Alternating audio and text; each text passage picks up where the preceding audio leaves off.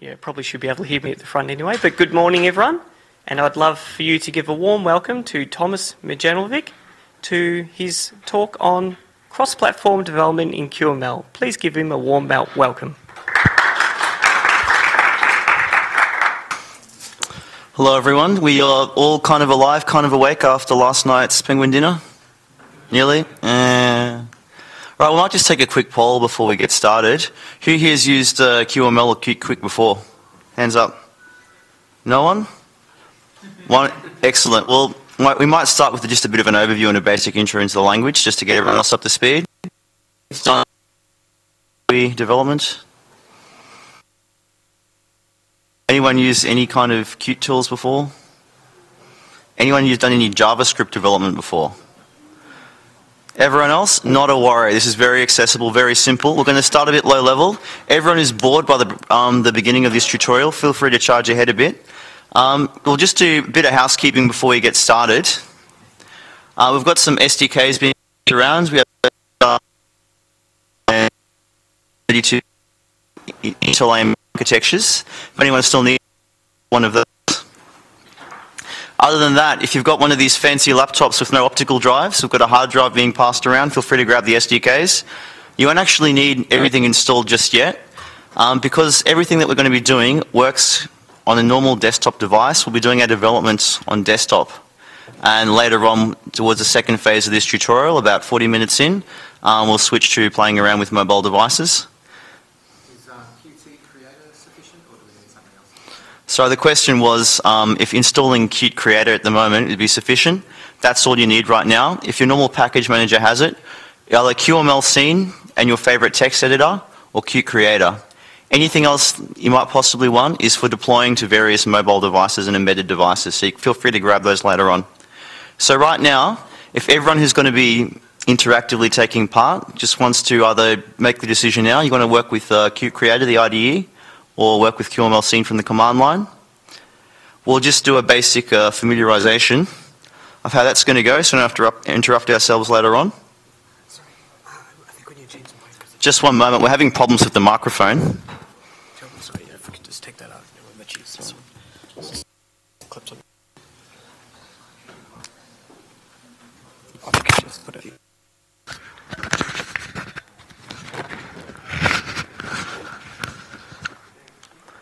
Okay, no problems there. Is that coming through now?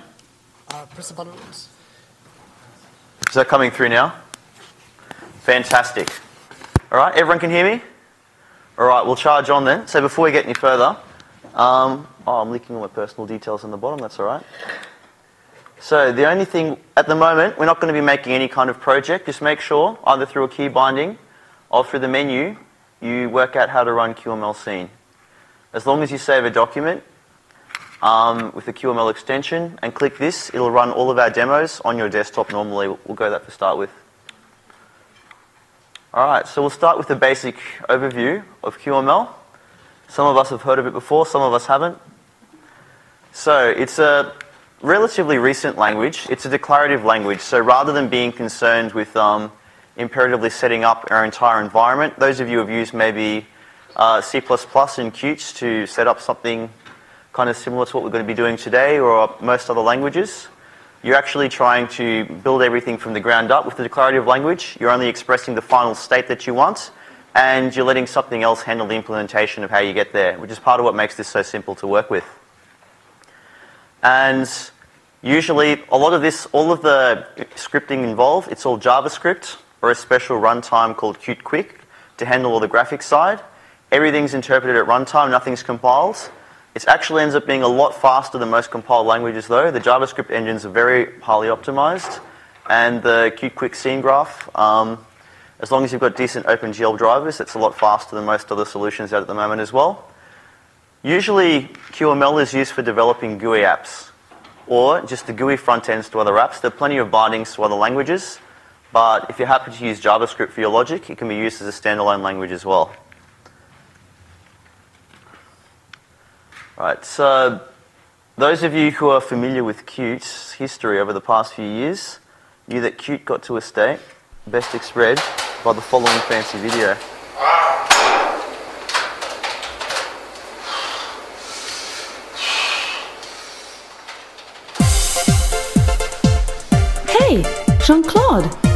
Worn out today?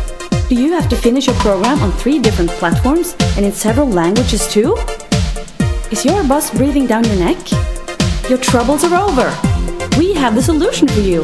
Look at the screen.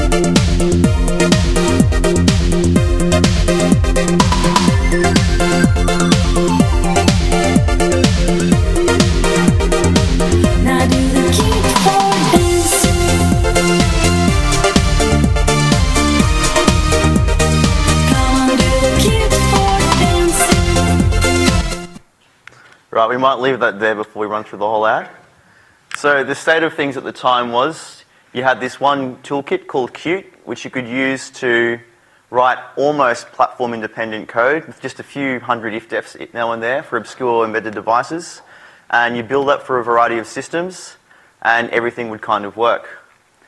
Until a company, you may have heard of them, they used to be big in mobile, called Nokia, acquired Qt and thought, this is great, but we can do much better. And un- under Nokia's ownership, that's when QML was released, they wanted something fast and agile. Ideally, they wanted a native interpreter pre-installed in every mobile device. Otherwise, you use some boilerplate code.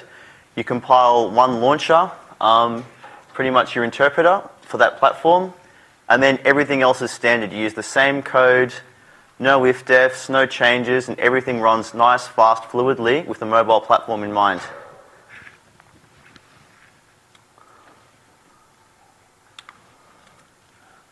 So you can use QML for mobile apps, desktop apps, you can, even website bindings, you can do web pages with it. This is basically what a QML file looks like. You've got a whole lot of import statements up the top um, and various objects nested down the bottom. Now that looks a bit messy. I don't know about you, that's a bit hard to understand. So let's just go to an example. That's pretty much it. Ignore the import statements for now. You need a magic line at the top of your script.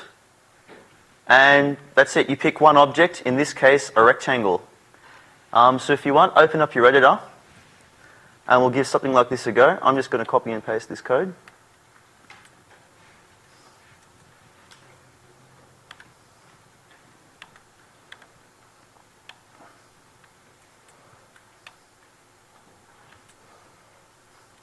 Alright, so if you put that much in, and you run that with QML scene, you should get a nice yellow rectangle with some nice blue text over the top. Right, this is a bit of a check to see that everyone's able to use the tools and kind of keep up. How's everyone going with that? Have you got something similar on your screens?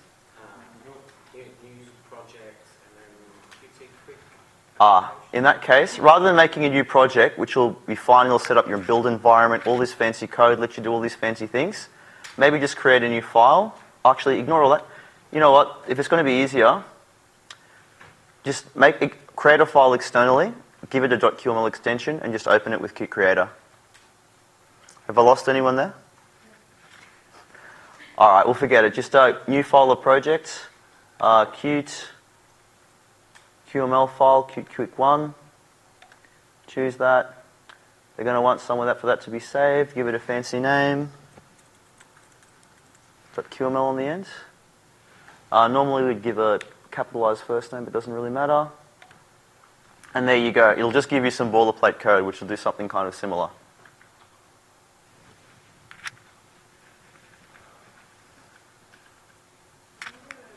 I'll, all right. Back to the other example, or show again how that works? Okay. So the example was something like this. So we have an object, in this case it's a rectangle, we've given it an ID, and we've given it a property, a color. In there we've nestled a child object, we return ID, we've given it some other properties. That's right, so if you want to have a line ending rather than a new line, you can use a semicolon, kind of similar to JavaScript. I was a bit space constrained on my slides due to the resolution we're using. I'll make it a bit nicer.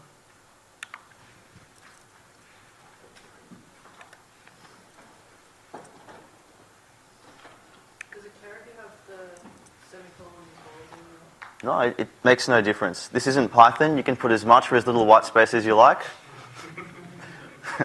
Sorry, Python guys. Uh, so it doesn't really matter. Doesn't care. It's not Perl. You can forget the semicolons, add the semicolons, whatever you like. It's not really picky. So if you put something similar to that, and then you run QML scene, you should get exactly that. A rectangle, a yellow rectangle with some blue, with the words blue and blue over the top. Okay. Ah, fantastic. Anyone else want an SDK later on? Just come and grab that hard drive. Right? Hands up if you're not there. That's all right. Another couple of seconds. Everyone else, I'm just going to throw some other properties in. That text is a bit small.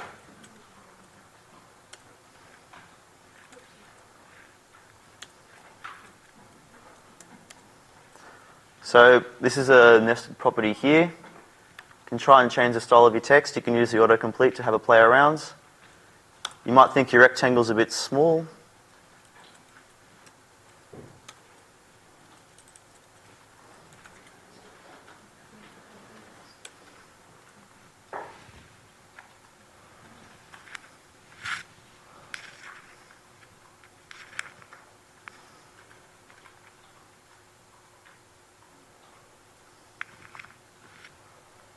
Everyone kind of there?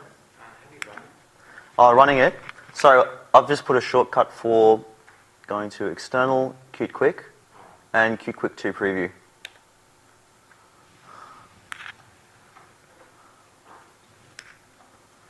And you should see this fancy window popping up.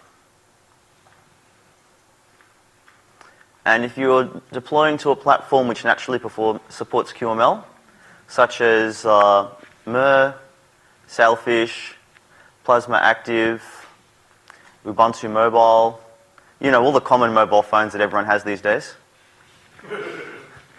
Otherwise, later on, you'll just build uh, some basic, um, we'll use some basic boilerplate code to build us either in Objective-C or in Java, some kind of interpreter that'll do the job for us instead. And if nothing happens when you go to external Qt quick uh, with QML state, So you've run QML scene and nothing's happened? nothing's happened. All right, I'll just have a quick look. Have you saved the file? Yep. Uh, unfortunately, it doesn't work on the active state of your document. You have to save the file and then give it another go. Still not working? No worries. So you've done QML scene on the file. Up. Right. Ah. Oh, I was trying to run QML four. Uh, if you try dash Qt file on the end, are you using a distro package? Yeah. Mine, mine was silently complaining that I'd used lowercase t on the text instead of uppercase t. Ah. It wasn't popping up in Qt. Yeah. create. Dash Qt. Whoop. That's really quite strange. I don't know. Unfortunately, if you're using distro packages, which is usually quite helpful, sometimes they have some weird quirks to just, so they can package Qt 3, 4, 5, 2, 1 all at the same time. So let us know now. Now that everyone's on the same page, we can motor through a little bit more. All right? All right, so everyone has your fancy yellow rectangle with your fancy blue text. No? No problems. We've got lots of time today. It's, uh, it just it says it's starting out. I've saved it. And nothing's popping up? Scene in the viewer and no, nothing happens. Just if you go to a, can you find the path of the wherever the binary's gone and just try and call it externally on the file? Yep. So. So I'll, um, It's called um, QML scene. QML SCENE. Oh. Ah. Okay. All right. So if you, if you can do that for now and later on, we might work out what's wrong with Qt Creator. So everything right in the middle row? That's right, just a moment.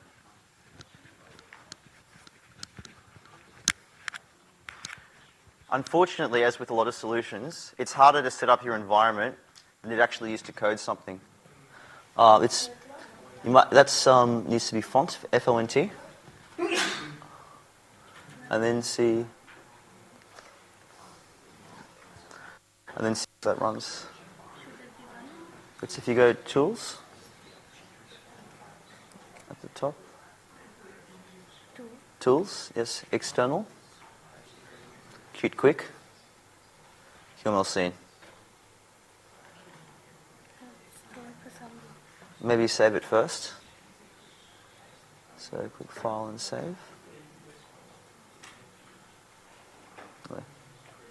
And try that again.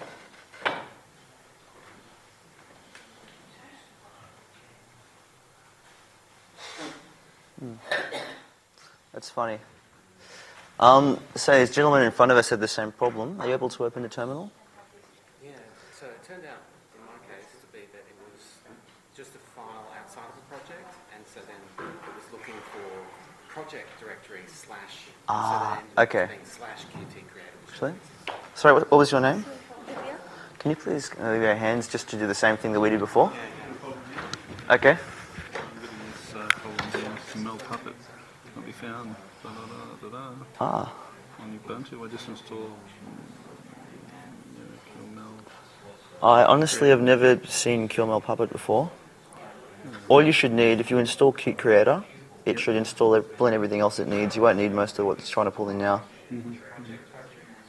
So it should just be Qt Creator, no dashes, nothing else. Otherwise, try Qt Dash Creator. Uh, yeah, I installed it. Oh, oh, you've installed it? Yeah, yeah. But, uh, Oh, you've got some fancy graphical tool here. yeah, yeah. Oh, you, oh, using the design function. That's so you can draw everything by hand. Try going to edit instead. yeah. And how do I run that? And, um, oh, that's lowercase t Oh, okay, T, yeah. for Qt Quick up the top. Oh, Alright, so everyone's aware, um, the Qt Creator ID, IDE isn't too different from your normal word processor. If you see a squiggly red underline, that means something isn't spelt correctly. okay. And how do I run it? So, tools. Tools, tools. Oh, the menu seems to be. Yeah, so it's, it's it, well, it's a it, Oh, Ubuntu it's thing. So, so Ah, okay. Yeah, yeah. So I tried to. That's not Um, Alt T maybe, Alt T. or Command T, depending on how you bound it. No, that's not it. Alt T maybe. I put something in there. Alt T. Alt T. Oh, I'm sorry, there should be a, there's a drop down menu, file menu, up the top, edit menu, tools menu. Uh, can you turn it on? I guess it by default it's turned off, is it? It should be there. I'm not, I'm not, I'm not sure. I've never used Unity before. Yeah, yeah. No, this is on Mate, but it's Oh, on Mate, okay. uh, it doesn't work. Well, you can always, if you can open the terminal up and find Yeah. where the where it is QML, just run QML scene or QML scene dash Qt 5 on the file, and you won't need to use the IDE to run anything. So if I go what? Sorry. You find, do you have, is it in your path? QML scene, QML S, QMLS, yeah. fantastic, and then just run that and Yeah. pick and just uh, give, point it to your file and it should run. QMLC, so desktop, QML. All right, so now that change you made Oh, the yeah. capital T, just save that and it should run. Yeah, okay, no problem. Thank you. All right, excellent. Right, I think most of us are there. It's all right. Once you get it to work once, every future change is pretty simple. All right, so I say.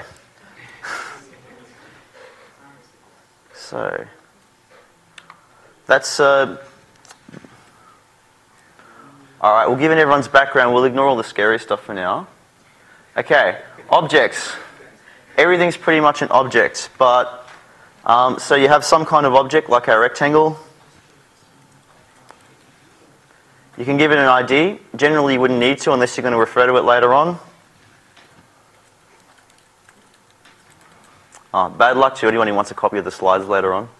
I don't know how I'm going to do this. Um, so properties, so we can do width.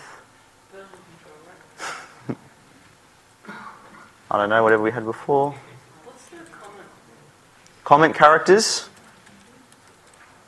Everyone, document everything. You're all at the talks on at the miniconfs at the talks yesterday, or you can do the other JavaScript style ones.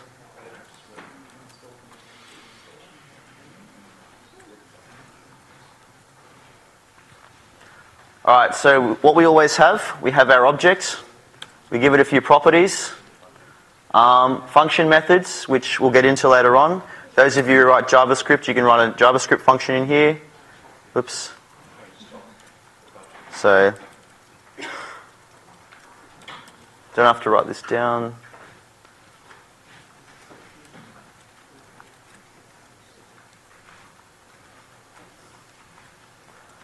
And signals, which we'll ignore till later on.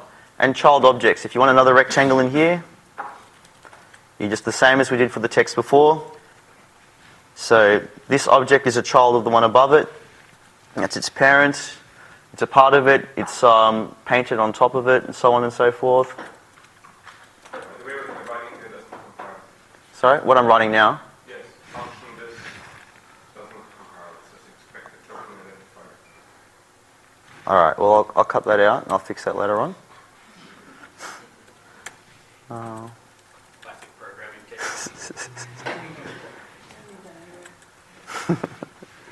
All right, we'll be doing functions in a moment. So something like this, then obviously if you want to do more rectangles, you can keep, you can do an even smaller one inside that one, so on and so forth. Um, so you have your object's name, some curly braces, and then property colon value, property colon value, property colon value, and so on and so forth. Now, we'll get to a problem soon. So we'll go back to our very nice example. And we have our text. Let's say we want some more text.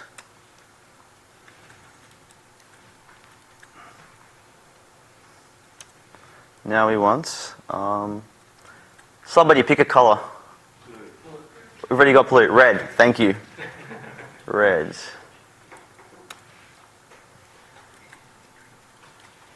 So there we go. I've just added this. So this is great. Now we're going to have a rectangle and blue text and red text. And um, that's kind of okay until I try and increase the size of my text to the same as the other one, and we'll see they overlap. So there's no point having all these different objects if we can't actually position them anywhere. Otherwise, they're just going to overlap over each other. So we'll quickly look at positioners. Scarier than it sounds. So, um, the, the easiest type of one actually is in this example. We'll just go back to what we were doing before. And the easiest thing you can do, you can give it an x and a y value. So x, I don't know, 50, y, 50. And the same thing, I'll click through in case anyone missed it before. It's external, Qt quick, QML scene, or just call that from the command line on your file. There we go. It's 50 pixels down, 50 pixels to the side. Nice and easy. But manually position everything with pixels gets a bit awkward after a while. So we're going to use something we call for anchors. After I don't switch to a TTY. Sorry about that. Making the probably broken the recording system. No. All right. So the concept of anchors is um, it'll be easier once we run an example. Um, you can attach an object or anchor an object to an edge of another object. You can anchor to its left edge, its right edge, its top, its bottom, its vertical center, its horizontal, sorry, vertical center, horizontal center, or its direct center. Or you can just say fill the entire area of the object under it. So, just copy and paste this one here. All of you poor people have to type it out for exercise reasons. Ah. And don't worry if you're importing Qt 2.1 or 2.0 or 2. anything else at this stage. There, and now we have a silver rectangle which looks like the same color as the window, so I might just change that to purple. Haven't had purple yet. Purple rectangle in the backgrounds. We have a red rectangle which we haven't positioned anywhere, so it's in the top left corner. And we've anchored this aqua rectangle to the left edge of the to the right hand edge of the left one, and its right anchor is on the right hand edge of this window here.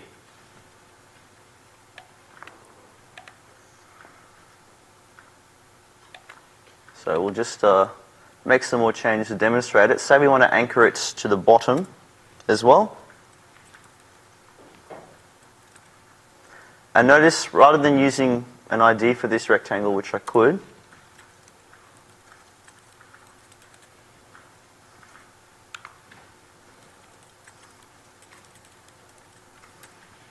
I've gone a bit ahead of myself and I've stuck in this little special keyword parent. So purple rectangle is the parent of this funky aqua rectangle down here. So if I don't want to bother giving an ID just for one of its kids to refer to it, I can just say parent. If I want to be specific, I can put in the full ID from up here. So we'll rerun this now and look at the change. And, oh, that's the problem. I gave it a height. We'll, we'll get rid of the height and anchor it to the top as well. And there we go. So this aqua rectangle, its top edge is anchored to the top of the purple one. Its bottom edge is anchored to the bottom of the purple one. Left edge is anchored to the right hand side of this red one. And right edge is anchored to the right hand side of this purple one. And using these anchors, doesn't matter if you resize the window, if you've got a responsive de- a device, and its dimensions change. If you specify a fixed width in pixels, something will stay at that fixed width, like this 50 pixel wide red rectangle. Everything else is fluid, dynamic, and obeys its anchors. So this could be quite handy for if you want something that works on a tablet and on a phone. So the only other thing you might want to do is give it some margins. Because we've got, whoop, that was bad.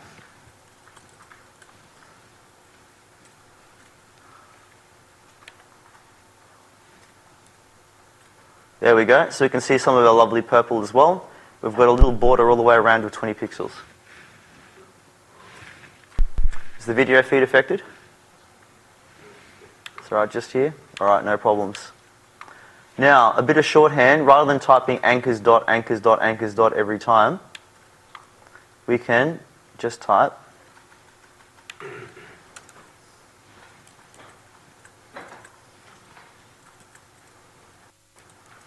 and so on and so forth and put it inside curly braces.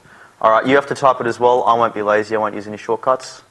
We'll give it a new set of anchors and see what happens. So,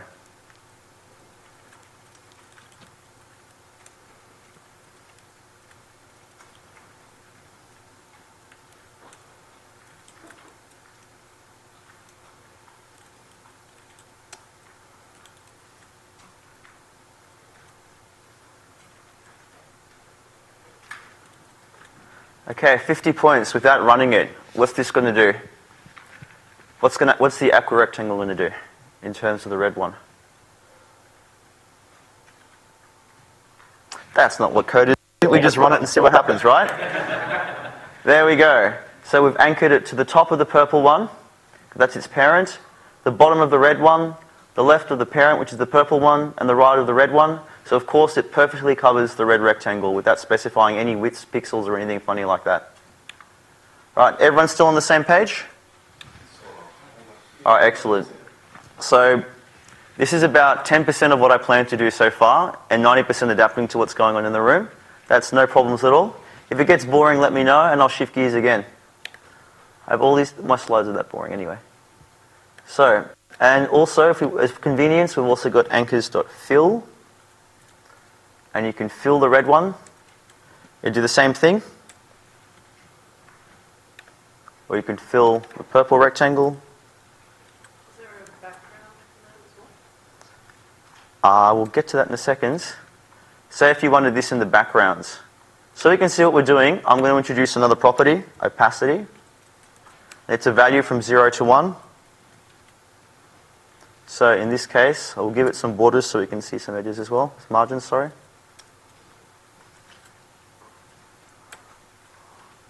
So there we go. It's filling the purple rectangle. It's covering the red one. We've got a margin around it. But what if we wanted that to be the background? Say, for example, our root element wasn't a rectangle. It was something else. Or we wanted to put some text, and we want the rectangle to be a child of a text object, not obscure the text. We'll just uh, change that now and make everyone's life difficult. So I'm going to put a text element around this red rectangle. Sorry. I normally don't use uh, Qt Creator. I use, whoops, something else, which is a bit more difficult to introduce people to. So I don't know how to auto indent, so I will go like a peasant and do this, and this, and this, and um, give it some text.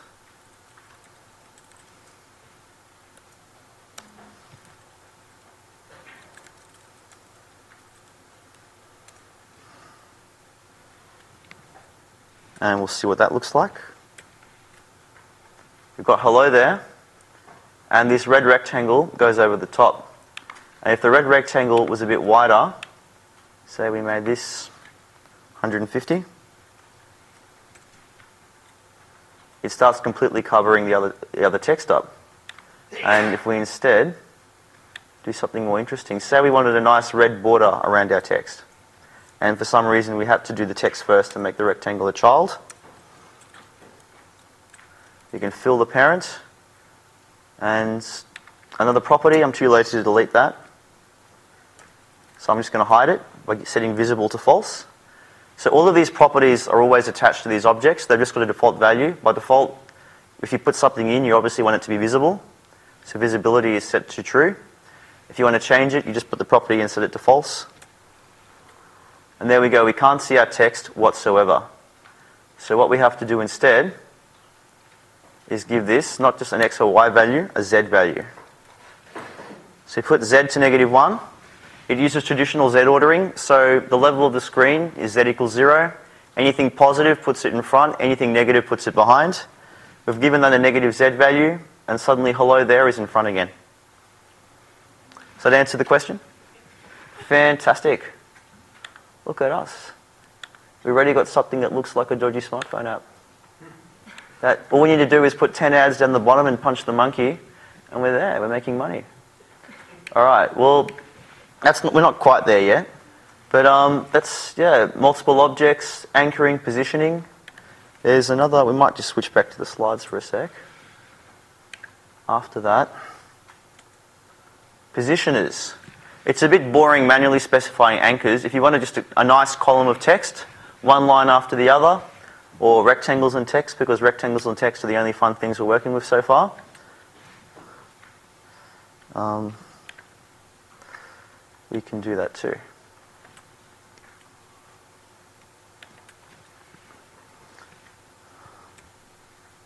So as you can see, the root element can be anything you like.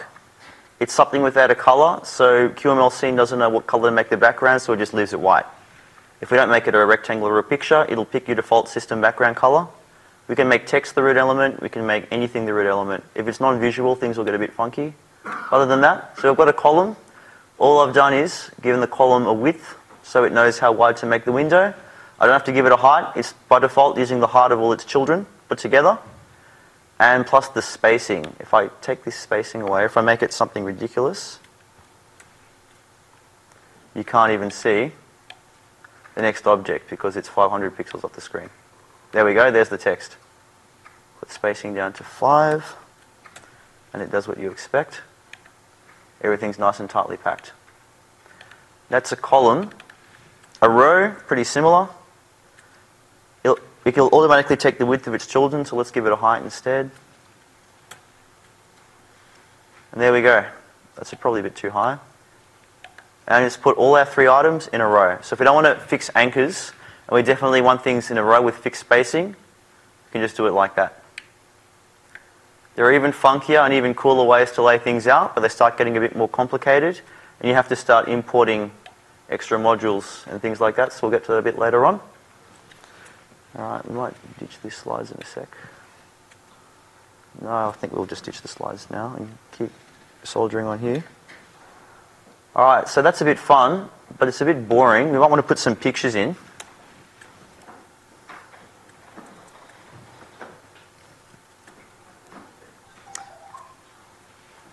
Ah, who knows a good picture, a good URL for something on the internet? LCA logo. There we go, LCA logo. Let me just uh, off to another screen and um, find the URL for that. 50 points if someone finds it before me. Please be something we can all type. Copy image location. There, that's not that bad. So here we go.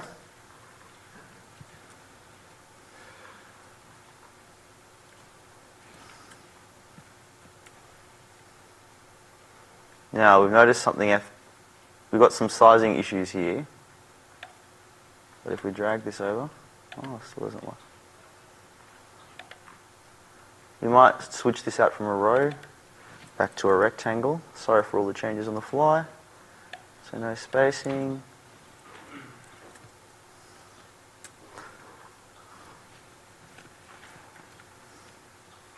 So all these things obviously are now going to be on top of each other again. So sorry if you've been you've invested your heart and soul into all these other children. I'm just going to get rid of them. And I'm going to stick it in the middle of the rectangles.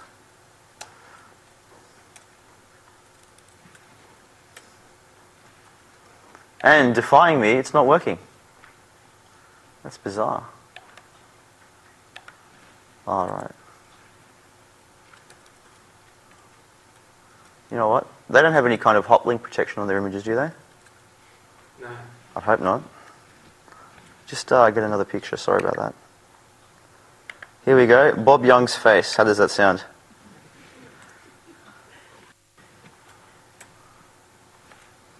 Still doesn't want to show. This is the worst demo ever.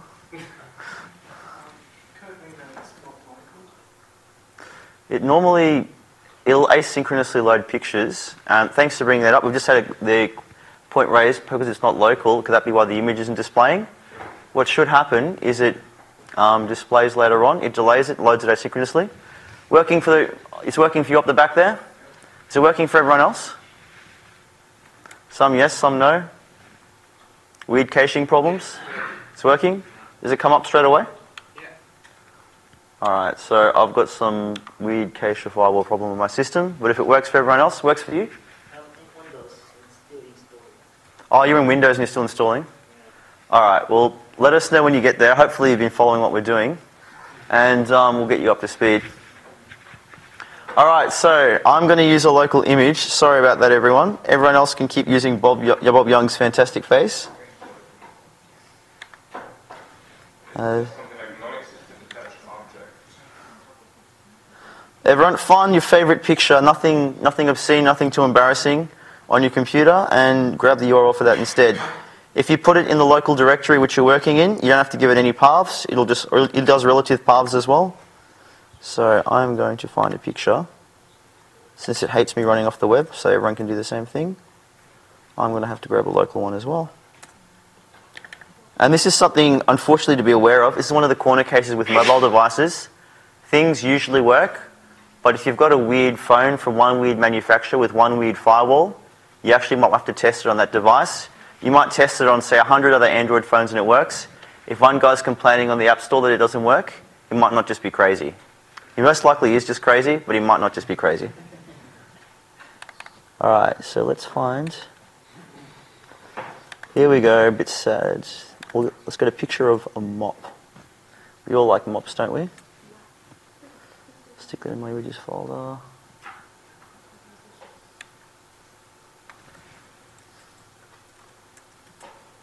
Oops. That was.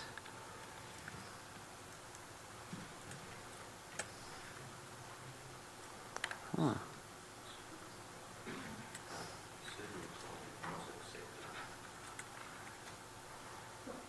So you can all stare at my private file hierarchy. There we go. Oh, I had in the demos folder. So there you go. You can use a relative path if you store your picture somewhere relative to your actual project. That makes sense. There we go. A nice, lovely mop. You know what? A mop that just stands still is pretty boring. Mop should be doing something. So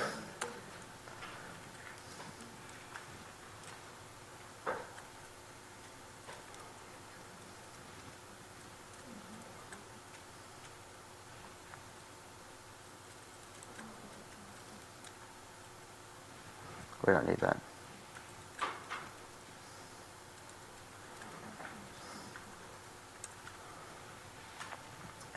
And um, no, that won't move anywhere.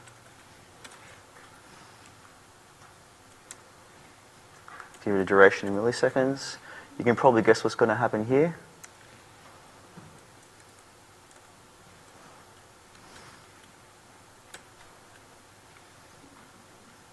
Absolutely nothing.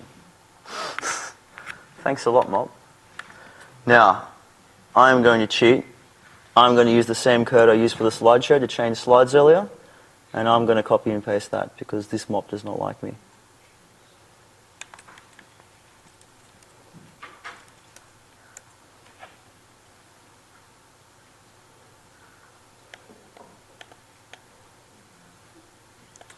Alright, so, oh, apparently we've changed the syntax for how we do things. So, that's alright. We will give it a name.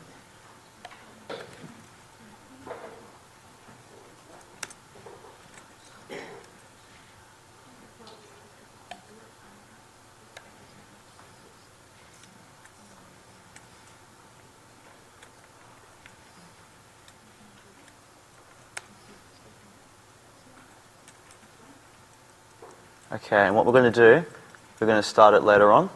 One extra thing, if you want to do some special initialization, only when your scene is ready, don't ask why it's called this, just accept it for now, because it's crazy. Component.onCompleted. And here, if you know JavaScript, you can put a nice message to your terminal.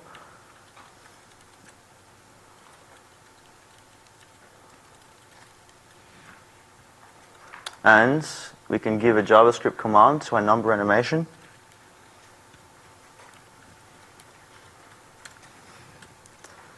And that should work beautifully for us. And, ah, that would be why. There we go. So that was really, really short. We might make that a bit longer.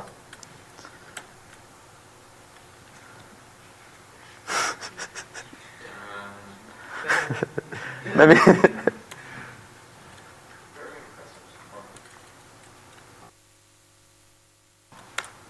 Let's loop that 50 times. Wow. Do you know what? We will make it a bit faster. Oops. Do you know what I think this needs? I think this needs some music. Who's got the Sorcerer's Apprentice on their laptops? Fortunately, I do. Now, unfortunately, nothing in normal Qt Quick can play any kind of sounds or video. But if we import, can't one complete for me. Oh, it doesn't like me. Alright, we'll get back to that later on. I obviously didn't install something. That's an animation, so we can animate there. If you want to change it to the X direction, simple thing. Now look at it, it's gracefully going from side to side. Now, property bindings. Other than anchors, we can do things here as well. We don't, what if we don't want it to go just negative 20 um, to 20? We want it to go the full width of this parent element.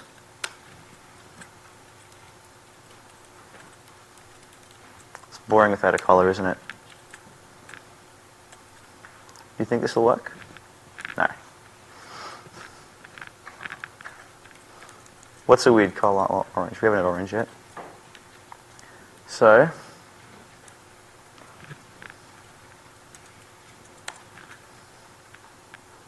actually, we'll go from the start. We'll go zero, two,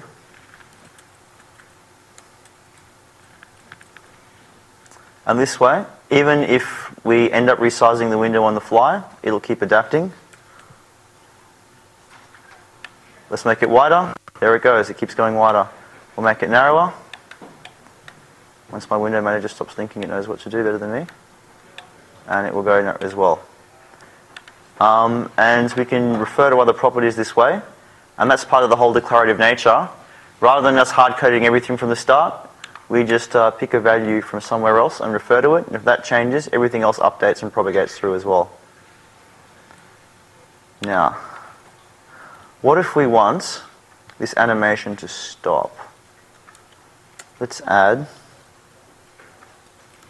a button. No, actually, we're not doing buttons yet. Let's add a mouse area. Have a guess what this does. Mop, we'll make it full of the mop. Now, it says mouse area, but if you use your finger on the touch screen, it ends up doing the same thing.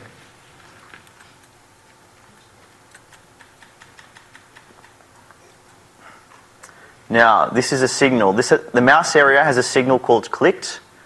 When something tricks the signal, it fires an on-clicked event, and we can define what it does here. So, on-clicked, we can put a log to the console for people who are reading that. And and say transition Y, the best name in the world.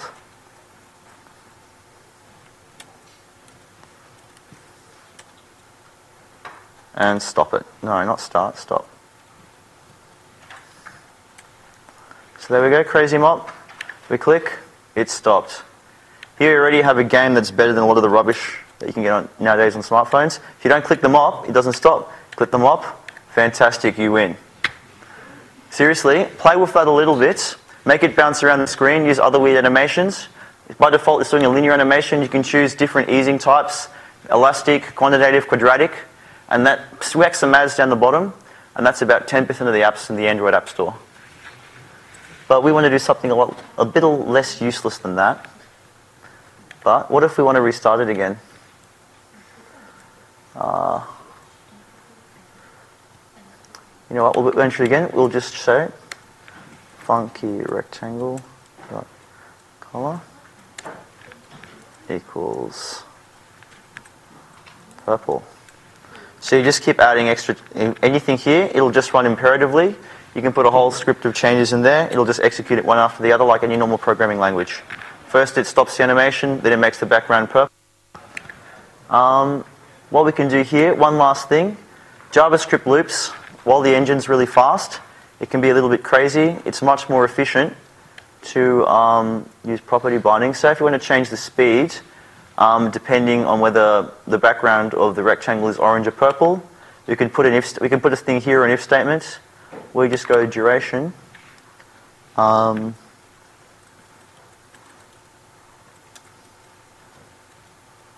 so those of you who said you've used JavaScript before, this would be familiar to you.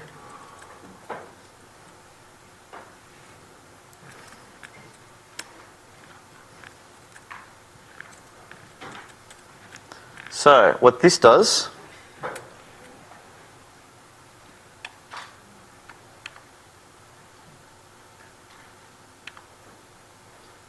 is not much. So that's the problem with not sticking to your um, original slides.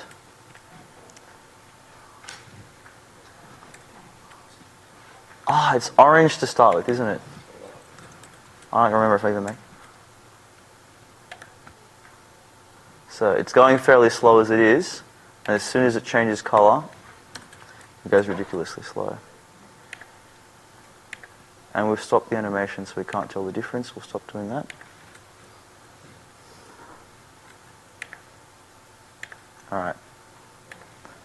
Now, how's everyone been going along? Is everything kind of making sense so far? Now, that's the basics of the language. That's okay. There are a few more things um, you can have um, other positioners, list views. So if you want to have a large list of, say, contacts or from a database, um, you can go through and you can scroll off the screen without you having to do screen management or do your own scroll bars.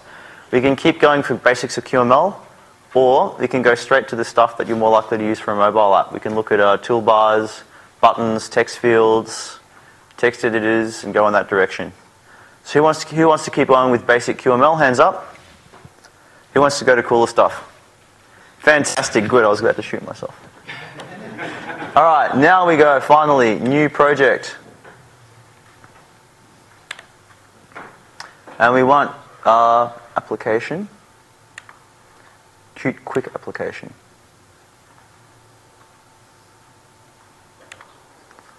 All right, so find somewhere to stick it.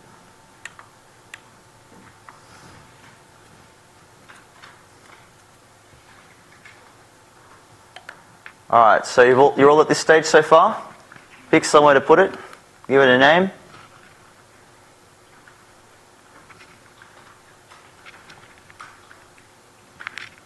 Good? All right. Now there's something called Qt quick controls. I'll just go a bit, no, I won't bother putting the slides up. I'll just rattle on a bit for a while. What we just did now, if a little bit further, that's the state that things are in when Nokia finally decided they were going to shoot themselves in the foot and blow this investment they just made. And that's the state that a lot of things were after that. But people looked at it and thought, you know what? What's a button? A button is just a rectangle with fancy border images with a mouse area underneath it. And they started using these existing components and these existing objects to make other objects. And they were building all kinds of funky things, you know, uh, all kinds of widgets that we're used to on the desktop, new widgets just for mobile. If you want to make a slider, you can just make a circle or a rectangle with rounded corners, put it on another rectangle another color, change its position using anchors or animations or x coordinates. But in other words, it's a lot of fiddly work to do it all from these basic elements that we've been playing with. But they did it anyway for the Nokia N9. They did it in a completely separate and incompatible way for Symbian. And then guess what? It was done in another incompatible way for KDE Plasma, another completely incompatible way for Android. You're getting the idea here. And guess what? Ubuntu Mobile has got everything in QML, incompatible again. Um, everything like the Sailfish OS, incompatible again. BlackBerry, its native, native apps are all in QML but they call them cascades and used a different way again. And eventually, when Qt 5 came out, they said, guys, this is crazy. Step one, they took everything, and the worst thing was none of this worked on desktop, it only worked on mobile. So you had to physically have a mobile device in your hand to develop with to see what was going to happen, or run some virtual machine or simulator to see how things work. They all sat down. Um, a lot of the Qt 5 developers, they thought we're going to make a basic set of components that should work everywhere that's what we're about to look at here. They're called Qt Quick Components. Um, same syntax. All we're going to change is the styling. The reason I said we need Qt 5.4 for today, it worked in Android from 5.2 and 5.3, but they looked exactly the same as they looked on your desktop. So you had a nice Android button with the same width for a finger to press on it. You had some tiny desktop button you had to get your little stylus out and press on. Now you don't even have to do that manually. They've got a nice Android style. They have an iOS style. They have uh, even a Windows RT style. You can make a Metro app from the same code. Can make a Metro app, an Android app, a desktop app, an iOS app, and pretty soon uh, BlackBerry Plasma and Mer and Sailfish apps. And all you have to do is maybe a couple of tweaks for your project file. You copy the same core QML from project to project. What we're doing now, you will create a separate project as we're about to do for all your separate files. That's just so you get your um, platform dependent boiler code that's just going to launch everything, set whatever permissions you need, whatever housekeeping, and then just run your QML. So I'll get back to it, and I'll frustrate the video crew because they have to pan their camera again. So Qt Quick Controls, we hit next. Um, just for now, go a desktop target. If you've plugged in a device or if you've installed the SDKs, you should be seeing um, the Android target, you should be seeing other targets as well. Like if I, unfortunately, some of the changes needed for certain platforms aren't upstream. So I've actually got about seven copies of Qt Creator in my system. One is just for desktop and cross-compiling to Windows. I don't know why I picked this one today because I'm crazy. Um, one is just for Android and iOS. One is for BlackBerry and Jolla and so on and so forth. But if it works on desktop, you can easily get it to work somewhere else. No, no. If you're smart and you like their way of doing it, you can use version control.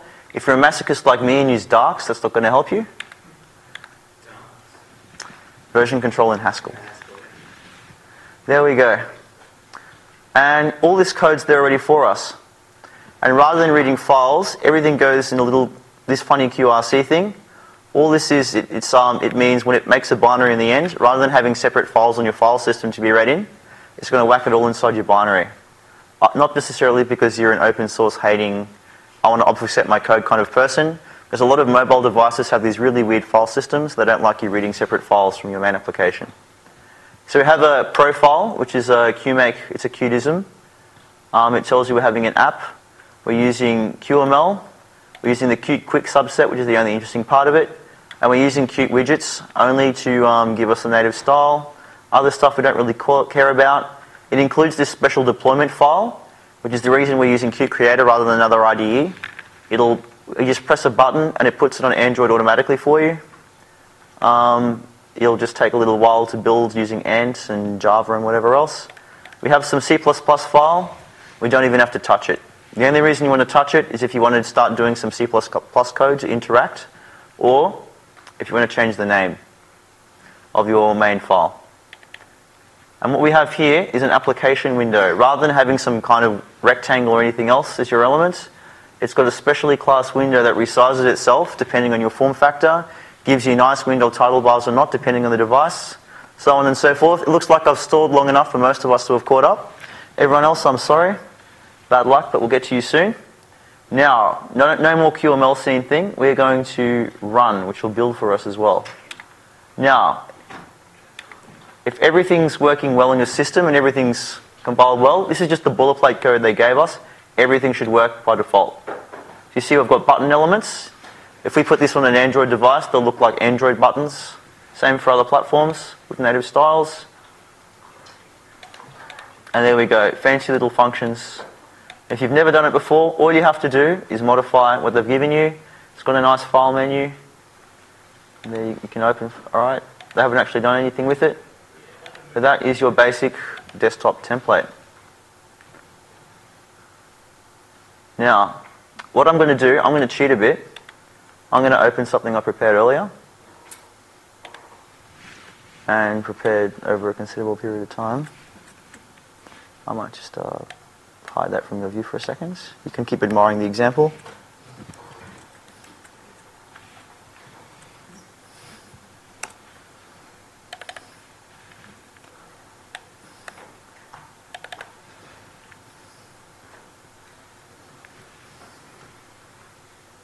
Right, so it'll take a while because I've got lots of custom files being loaded, lots of classes,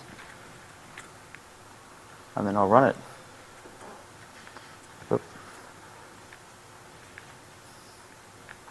Sorry, my laptop's really hating this screen resolution. Alright, so you can have multiple projects open. If it's in bold, it's the active project. Just close that. It's building, it's running. There we go. This is something designed for mobile rather than for desktop, but we can always go back into a more desktop mode. Um, I've deployed this, I did this once when I was still more into research. You can load things off the internet, you can, um, it uses basic um, XML HTTP requests, get, um, push, so on and so forth. And um, 3D isn't quite working, so I haven't found anything yet for us today with the 3D model. Just to demonstrate some of what you can do once you put some time into things, you can check on the conference Wi-Fi. So we'll leave that for now. So everything now that you see with the little uh, scroll wheels and scroll panels will just be a normal flickable thing on a mobile device. Um, so not terribly exciting if you are not a biologist, but it just gives you something to look at what you can do. This is something I made when I'd never experienced QtQuick before. Um, I had written this all in C++. It took me about four months. I ported it to QtQuick in about two days. And it's got all this kind of crazy parsing. I was originally going to do all the calculations, parsing, making, drawing 3D protein backbones in C++. The speed in JavaScript's comparable anyway. So I'm reading a file with 20,000 lines and doing regex operations, and it only takes about 20 seconds in most phones' JavaScript engines. So we'll go back to our little example here. Um, close that. Actually, no, I lie. I'll be indecisive again. I will open something else I prepared earlier that's much simpler.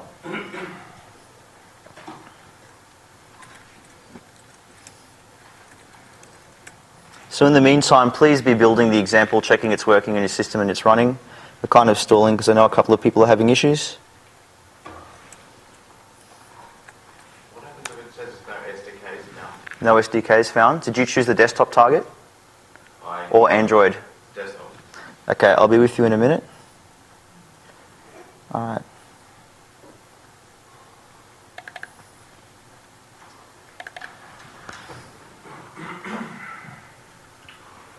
So this took about 15 minutes to make. And someone wants to come up and have a play while I look over here, go for it. Volunteer. Uh, I'm not missing anything. You're not missing anything at all?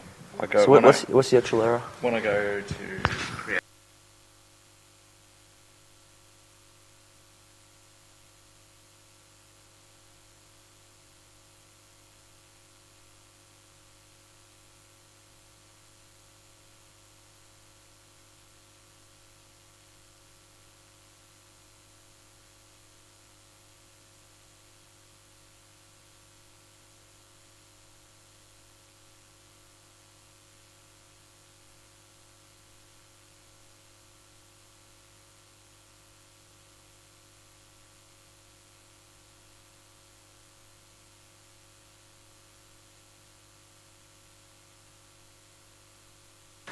All right.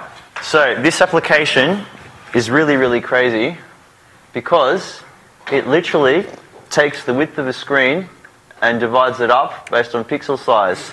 It's suitable for a phone. I can show it to you on a phone in a second, pass it around. All of these, you can fit about four of these objects in a grid on a phone. Because I used um, numerical squaring before they ported all these fancy components over, it's hard to see what it's doing. All I've got is a series of pictures and it flips them over to check if there's something underneath. You can install that now from the Google Play Store. It's a really horrible thing. As I said, it took 15 minutes to do, and it'll actually work on your phone, but because it's not taking different aspect ratios into account and all of that and screen resolutions, if I ran this on a retina display, it would look horrible.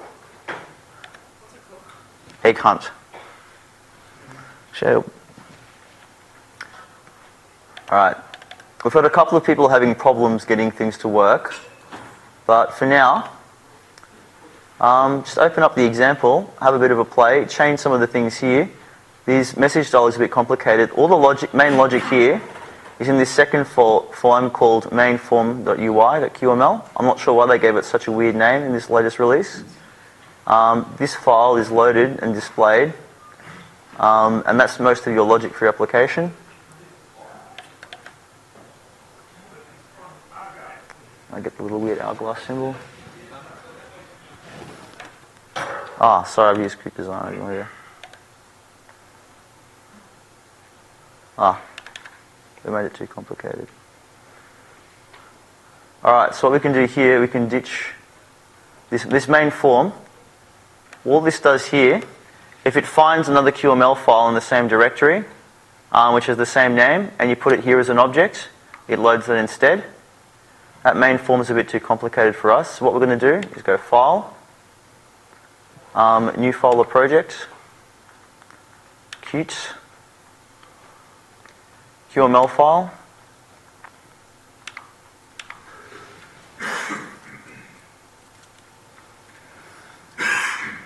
and just save that there. And we're going to get rid of this main form business. And I'll just comment it out. I'll delete it, no. And put main page instead. And now everything we put in this file gets dumped into there. And now we're back with an environment we're familiar with. And all the example boilerplate code already gives us a system menu, everything else. If you run it on Android, it'll use an Android menu. And we can get cracking very shortly.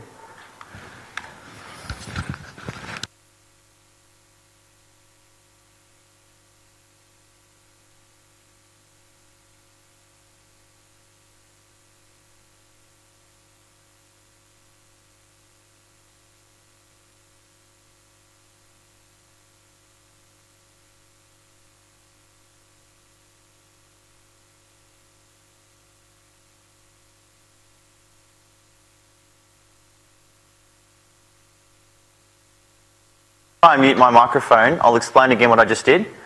Um, they've given us a very complicated example now with the latest version of Qt. We don't actually want to touch that.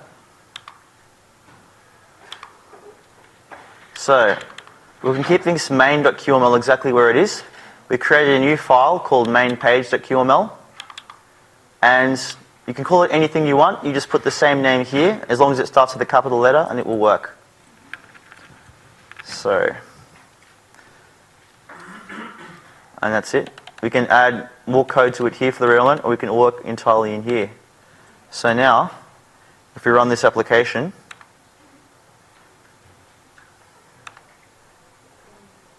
no, sorry about that. Die. Quit. Close.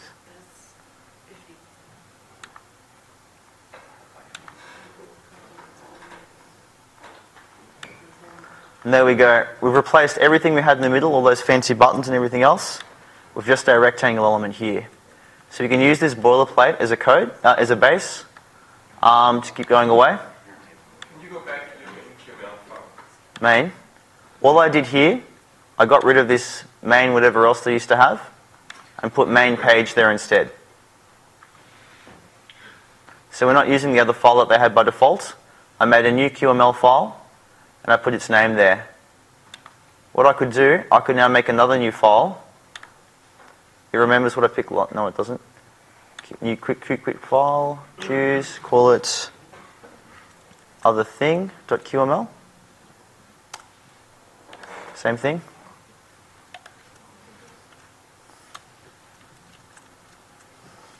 Do something so I can tell it's different from the other one.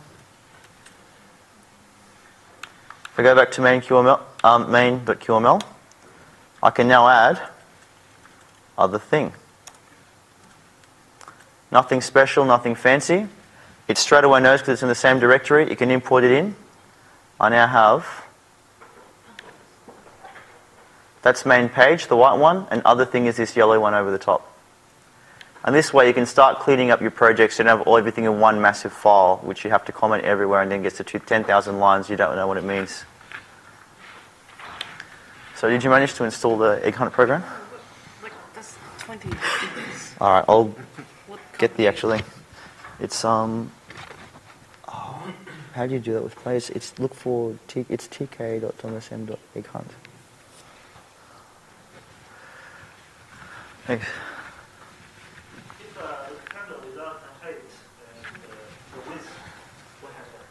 Without the height and the width, a lot of elements um, have their own intrinsic size. Like if you do a text element, it's by default the, the size of the text.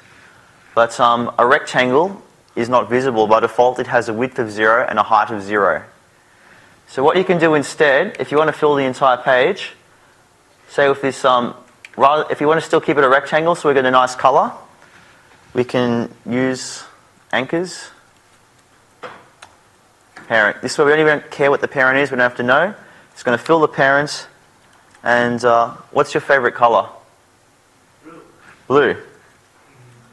There we go.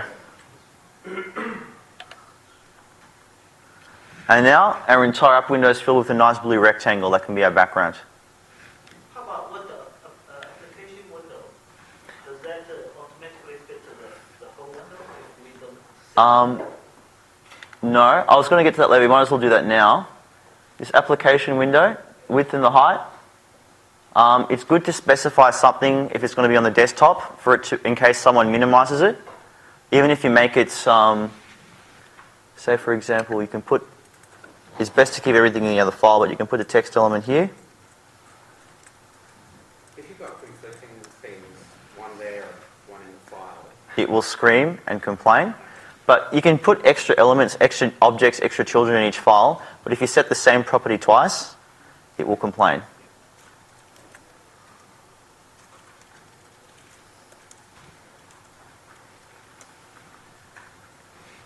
Right, so now we can make, say, the width, the text dot width.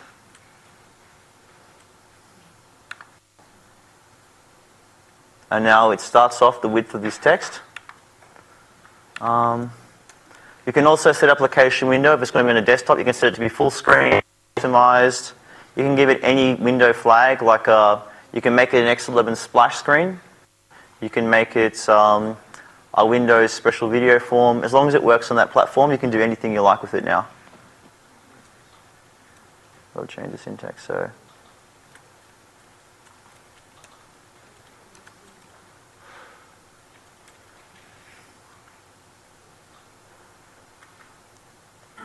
Alright. So especially with these newer components, it's a bit much for myself to remember everything. But thankfully, you go to the object you're looking for help with and press F1. It'll take a couple of seconds the first time it's done it. It'll open this nice helpful help view on the side.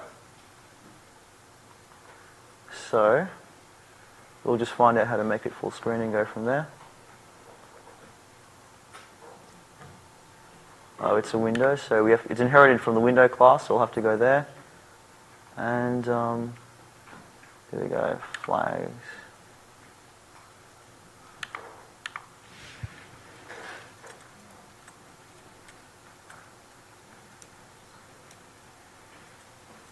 So I, would have to look up how to do that, but you can give it a full screen flag as well. Just be two, two second Google search, or looking at another project that I made, which I shouldn't have closed. Um, but as I said, anything which you can do for a normal Qt application window, you can do here, and it'll automatically just ignore it on a mobile device and go full screen anyway. Same for a tablet. Now, at this stage, given this is a bit of a new experience for most of us, do you want to continue on and make a nice app, or do you want to start putting it onto mobile devices to show how to do that? Not really fast? Do both? Why not both? All right, fantastic. Yes, question. Are there any guides to um, sort of like what you need to do to make sure it's going to be exactly the same on a mobile device and a desktop? There's um, in there are some like corner cases where um, using a component is not going to work the same on an Android device as it will on a desktop. And the example I can think there is the uh, media player. Yes. Can play a JPEG file in the media player on Linux, but if you try to do that on Android, it crashes. Unfortunately, there's no automated testing for corner cases like that. A lot of the things they deliberately allow you to do whatever your host operating system lets you do. So if you try and put in extra features, which say even if they work on desktop Linux or on my Jolla smartphone here, but not on an Android device or a Windows desktop, um, it's up to you, unfortunately, to test that on the platform. However, the media player will play most videos on all platforms. It, it's, a, it's more of a platform issue. Same as if I try to play um, an H.264 file on a Linux distribution which doesn't allow non-free codecs, it's going to fail as well. But other than that, generally if you file a bug, someone will get to it very quickly and try and make sure everything's compatible. Again, if anything, I'm going to run this silly example on Android now. Um, and it should be exactly the same except rather than having a menu bar, a file menu, and window controls, it should actually have a nice Android menu, Android menu for us.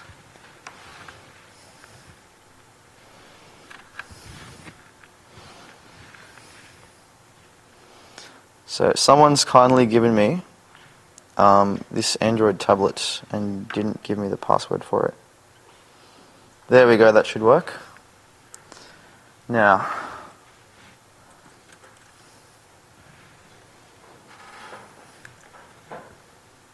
just run my Android Qt Creator rather than my Windows one.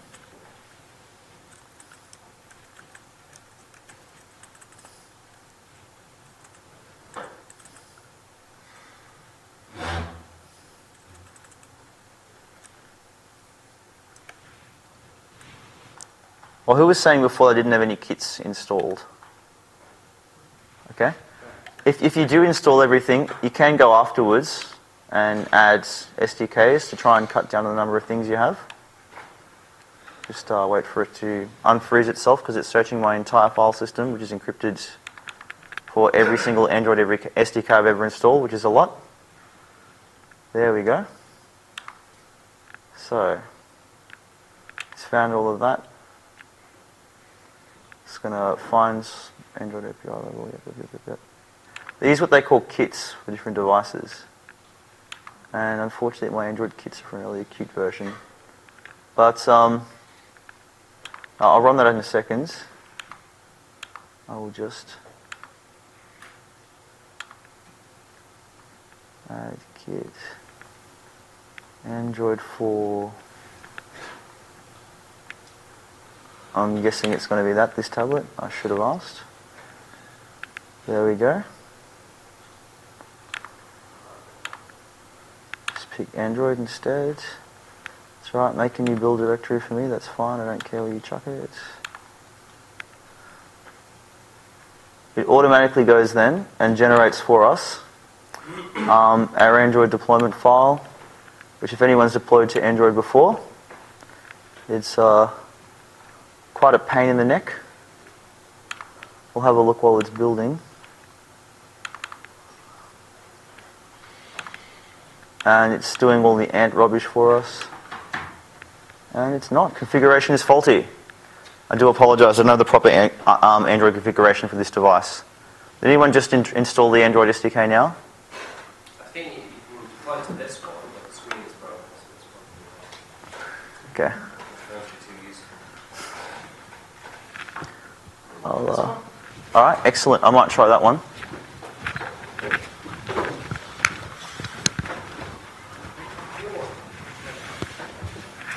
Okay, everybody else who brought their own device with them. grab your fancy micro USB cable, unless you brought an iPhone, in which case bad luck. Insert into your phone. Depending on your phone and who it's from and where it's from, you might have to do some fancy enable debugging option on your phone or something like that. And then you go back to Qt Creator, you, you install the SDKs from the disk. Everyone got their disk to their hard drives? No? Who's still missing an SDK? Alright, were you after. Have you, got, have you got an optical drive? Alright. Is it working now? Yeah. Fantastic. Uh, sometimes, unfortunately, if you're using a nice stable dis- distro like Debian, it's not going to have um, the best, the most up-to-date configured development packages. Um, or you can just have everything crazy like on my system, which so it stops working every two months like this just did. Okay, this worked yesterday. I've just had a system update this morning and it's crashed. So I will run it off the SDK like everybody else. We saw that spindle somewhere here. Fantastic.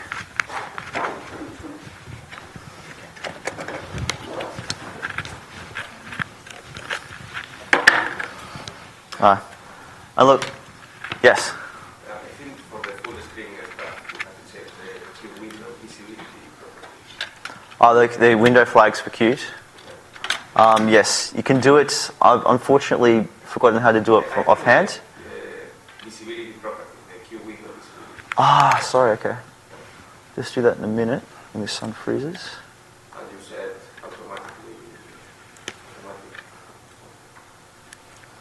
No, I think. So, what was the property? Is it QML property, or we're talking about changing it from C? So, icon. uh huh. And oh, they must inherit from window. Do you know what the value is by any chance? Uh, automatic visibility.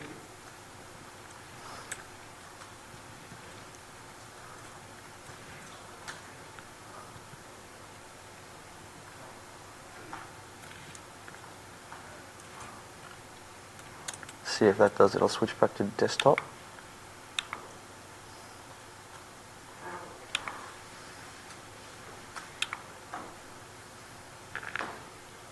Ah, that's not full screen. Oh, so it's full screen, but we wanted um, not maximized. We wanted without borders.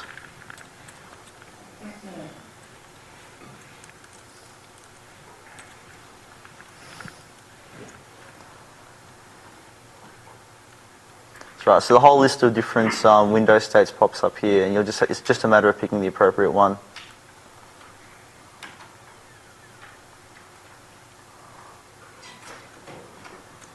The other misleading thing is on my system, I don't allow Windows to go full screen, so it's probably not going to be the best demonstration for that. Yeah, so you can change the window state to different sizes and it should work on a normal person's machine. I don't know, well, I'm glad you've all come today. Um, to be honest with you, I planned a rather more technical talk, and all of zero people would have come along to that. So I'm glad you're all bearing with me while I'm doing things a bit off the cuff. So please, if you've got something that you've realised that there's something you'd like to work with, I know we're still scattered about the ecosystem. You might just, um, if you want, feel free, go nuts, start throwing components together and try and make something that looks kind of decent. I might just go around the room one by one and help you deploy onto your phones. Does everyone think, have I covered enough? Does it make enough sense for us to do that? Or is still really not enough information to go that far? Alright, so we'll go back into the basics again.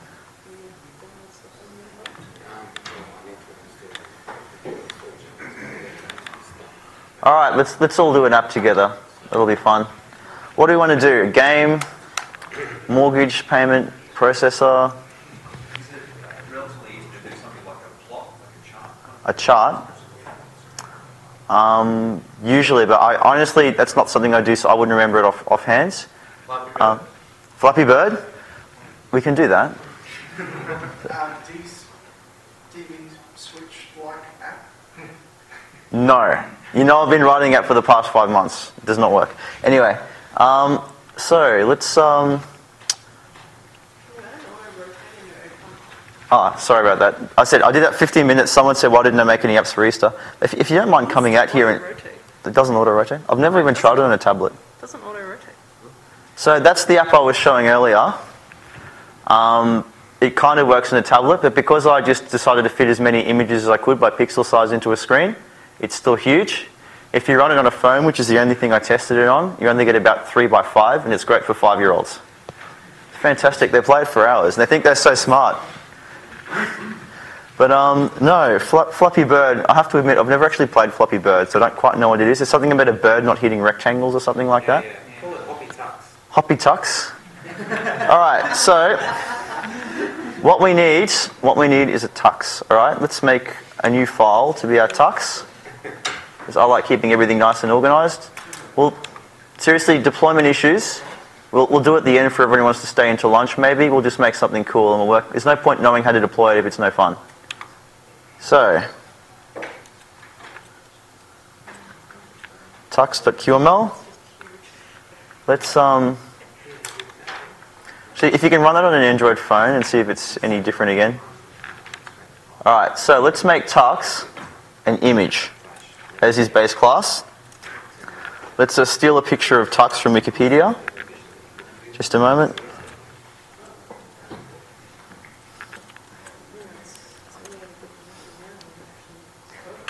Unless, is there a standard tux image on everyone's file system in the same location? Probably not. No, and um, the conference Wi-Fi has kicked me off again for downloading too many SDKs and pictures of mops. So, if can someone point just to, sorry, has anyone got a URL for a tux image before I make us all use a mop? Try people searching for Tuz to use it. Oh, that'd be great. I was saying I've I've been kicked off the uh, conference Wi-Fi for. Okay. Yeah. Ah, fantastic! The Ethernet. Excellent. I was paying attention during my AV orientation. I forgot these things still existed.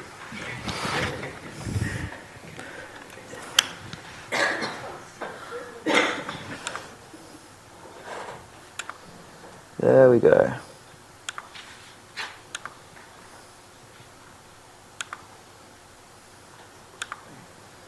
And they hate me too. There we go. Thank you, university, for providing this Wi- Wi-Fi which we use, which is extremely slow and can't load a Wikipedia page. You might do that. Let's look for Tuz. Oh, there we go. Sorry, we can change it to Tuz later. Maybe it can be an upgrade. Okay, copy image location. The smart thing to do is to download this file into a local directory, which is what you're going to do eventually anyway if you're going to make a game out of this. The lazy thing to do is just load the URL. Guess what we're going to do right now? God, what? Sorry. Oh, I hate this. With actual. No. Just to cycle through all my useless activities. Here we go. There's going to be some. Ah, go away.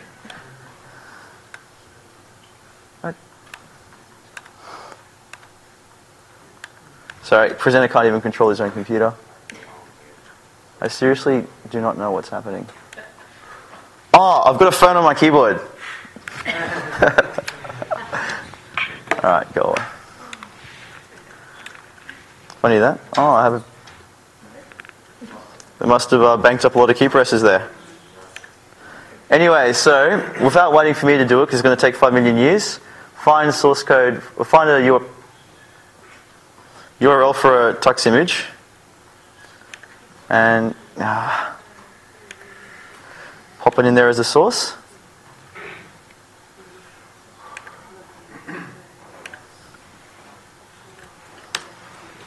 All right, bear with me for a moment. Let's uh, kick X in the guts. It always fixes everything. So what we're going to need, thinking about this, if we want to have a game with a little tux that goes up and down, we need an image class for our tux. How are we going to control them? Arrow keys or with the mouse and gestures? We touch screen. So touch screen, oh, what, tap up, tap down? Or do you, do, you, do you tap on, I don't haven't played Fluffy Bird, do you actually touch the bird itself? Each you tap, it just goes up by Oh, you tap anywhere? Okay. So what we have to do, what we want to do, we want a mouse area with anchors to fill the entire root window. So put that in your, your code now. It's mouse area, open curly bracket, anchors.fill colon parent, close curly bracket. And we'll have an event that if you press on it, an on-pressed event, if you press on it, it'll increase the uh, height of our tux.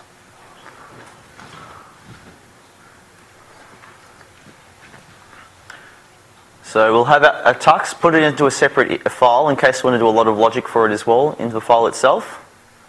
Um, don't put, an ID for the tux in the we it as well, and make tux a child of whatever's going to have hold our mouse area. Our background can be either a rectangle with a nice color, or you can find a nice picture of clouds, or something like that, and be an image. Just set the source, full screen. Make sure you give it a Z value that's low, or you make it higher up in the hierarchy than other children, so it doesn't cover everything else. Right.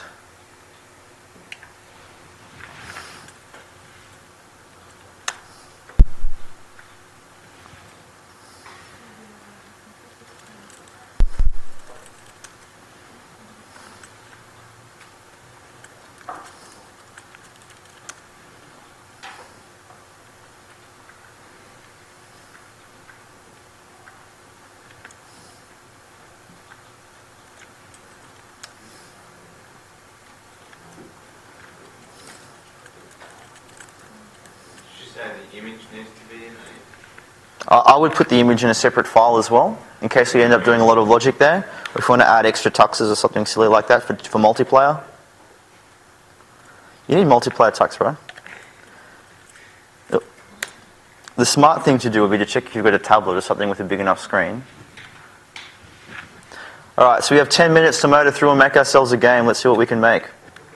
You should be ahead of me because I'm starting from scratch because I lost everything because I didn't save it. Alright.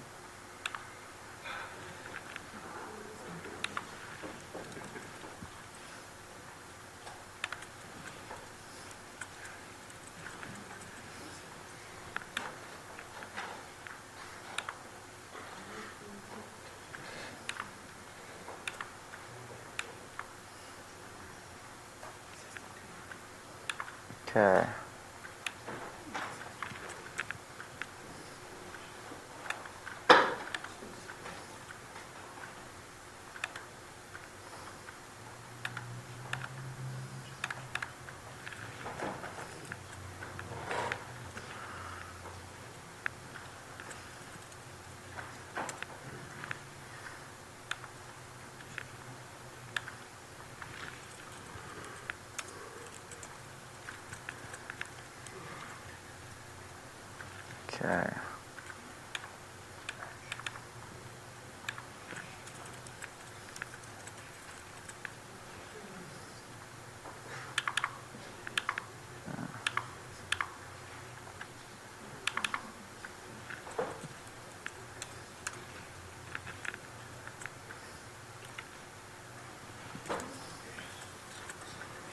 Does anyone have a URL for a tux image? Just wiki.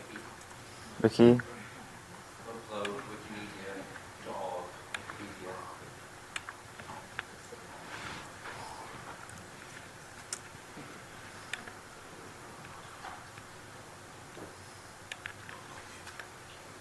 There you go.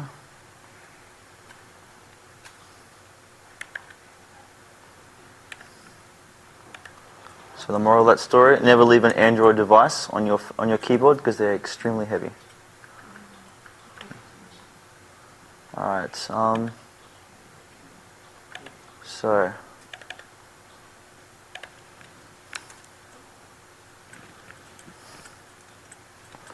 Right, so where should our tuck start? Does he start about the middle of the screen? So we'll we'll keep it easy. We'll use x and y coordinates. So we'll make his x zero, y parent dot height over two. and we can just set that later and change it. Now, what do we want? A mouse area.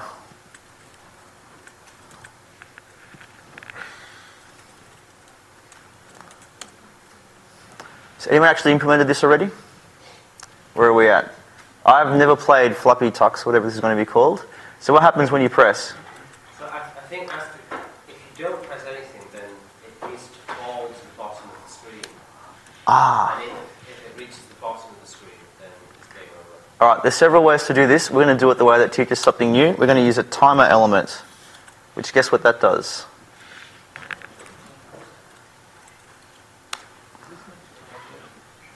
Um, falling. So, how fast does he fall, roughly? Too fast. Too fast? Okay, so in 20 milliseconds he hits the bottom? Alright, we'll, we'll just put some numbers in and we'll see what it does. We'll go the engineering way. Um,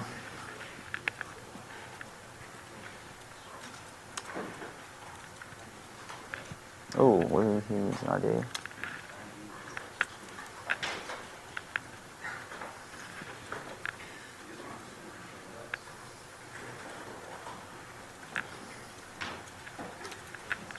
Okay, you can fall a pixel at a time.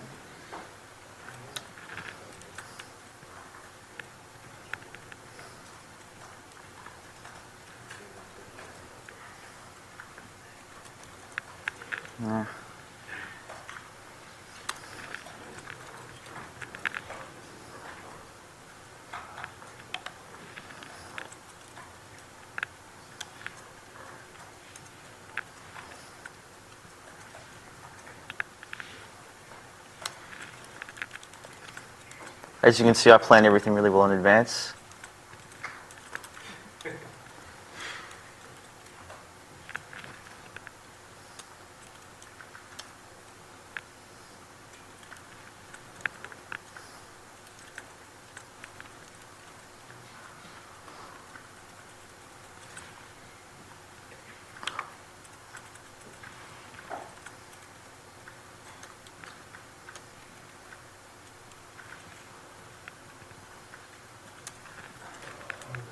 Ah.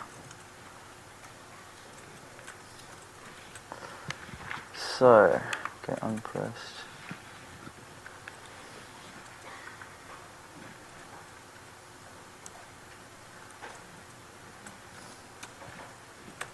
Let's make it easy.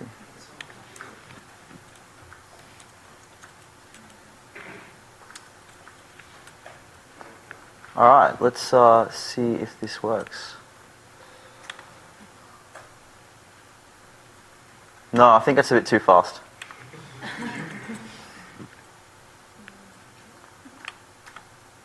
Tux is too big. Oh, right. I want Tux to go closer to the top of the screen, don't I?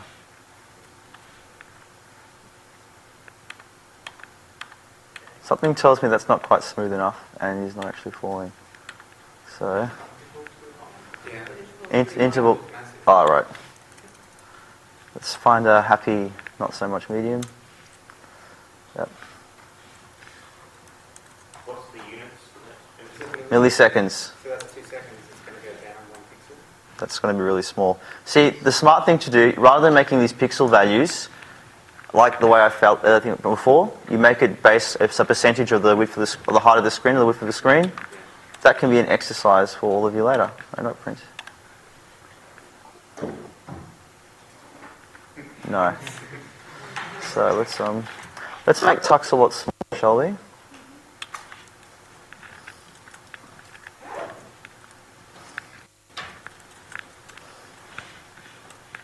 Ah. No. No, what am I doing? Is y is zero. It's making him start. Make this easier. like. You know what? That would be great. Um, we can't stay. I think is there a BoF in this room during lunch? All right. Anyone who's interested, we can have an unofficial BoF somewhere else because we've only got four minutes left. All right. So I was just thinking it'd be nice to have the uh, penguin. yeah, It, it'd be great, actually. Oh, if we get that logo, that would be fantastic. Right, we've got about three minutes. Who can see the error in my code? Because I'm going too fast. I'm not thinking. Uh, make uh, make that smaller five. I'm not. Is that the university system? What's smaller than five is 50. The problem is, is, is falling too fast. Let's. Uh-huh. I think that fraction of a second. We'll make it one second, shall we? No. All right.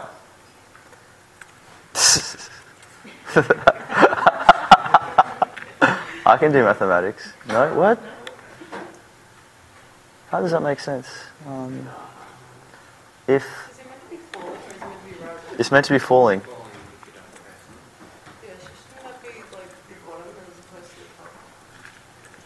So the bottom, the, the top, zero, zero is the top left-hand corner. Right, so the height is the bottom. You know what? We can um, make this easier for ourselves. Ah, oh, back to, yeah.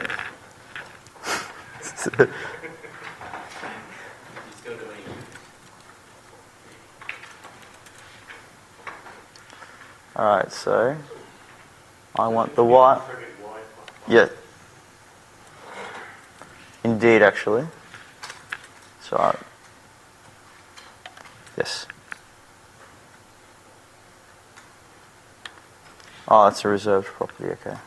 Can't do that.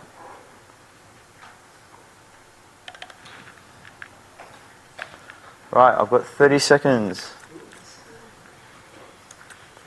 Do we have a falling tux or not? No. All right, so. Greater than height. Greater. Oh, I do. I keep flipping this the wrong way around, don't I? Greater. No. Greater than the height. He's starting at the top.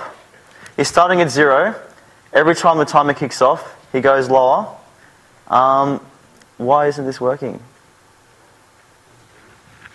The height is zero, so why is zero bigger than main page at height?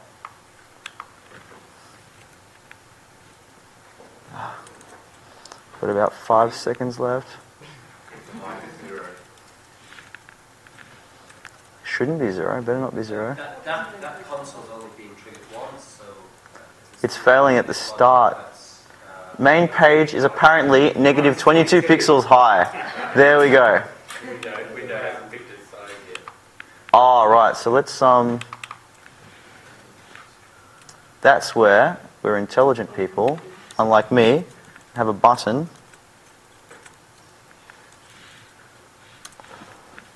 Just need Qt Quick components. Or controls, rather, as they're called now. Is it okay to ask questions whilst uh, Ask, go for it. Um, can you develop using these tools on uh, an iOS, an Apple? You can. As, as of Qt 5.4, um, if you download the proper Xcode libraries to work with it, um, Qt installs, it detects everything. Will, will you need a uh, Qt commercial license for that? Because I, I was told the iStore or the Apple Store, uh, you can't use dynamically linked apps. Uh, in that case, unfortunately, you can't use open source Qt, which is why I don't know too much about it. So the question was whether you need a Qt commercial license. I'm not sure about the Apple App Store's policies. I believe you will. In which case, it's possible, but you have to buy the commercial license. I believe it's the same. I believe it's the same situation for Windows RT. But um, there we go. The world's slowest falling tux. He goes off the screen when you click on him. Very good. Unfortunately, we'll have to wrap it up from there. But um, you're saying you're going to be able to take that outside. At So, actually, we'll take that outside now. Let's take it outside now. Everyone who's interested, we'll meet up outside. Thank you all for your interest. Um, where shall we go? Very quick, we have to get out of this room. well, we'll, we'll wrap it up first. Okay, we'll wrap it up. Meet outside the door. So everyone, please give a big thank you to Tomas.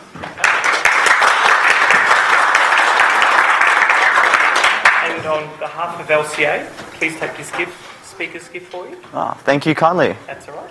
Thanks, all. Let's go outside. We'll figure out where we're going